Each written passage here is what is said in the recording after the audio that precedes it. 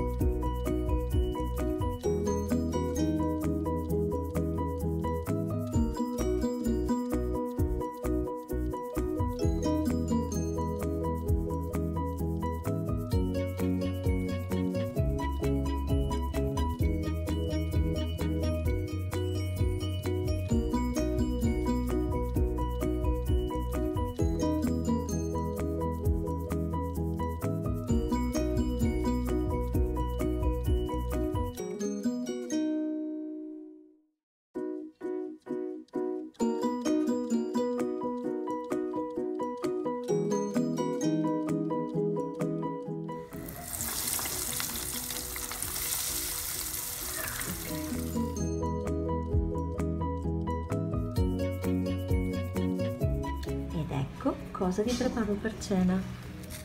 Le arancine